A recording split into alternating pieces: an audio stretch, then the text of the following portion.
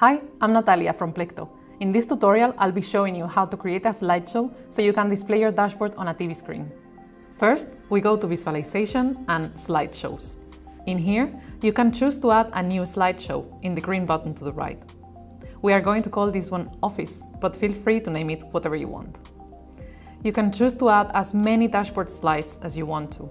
You're also able to add a URL, let's say you want to see the weather forecast, or you can add a contest slide. But let's start with these three slides.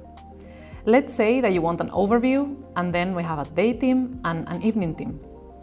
It doesn't necessarily make sense to be looking at the evening team's numbers when they are not important for the day team. So let's say that this dashboard should start showing in the slideshow from 3 p.m. in the afternoon. Then we simply drag it to the time we prefer. We can also change the day team's dashboard to show until 3 p.m. After clicking Save, you will be able to see a preview of your slideshow. This one will rotate every 60 minutes, but if you want to change it, you can always go back and change to 30 minutes, for instance.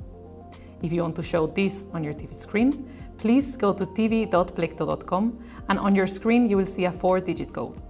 Now you can go to Activate TV on the right corner, choose the slideshow we just created and enter the PIN code. Once you click on Activate TV, you will see your slideshow on your TV screen.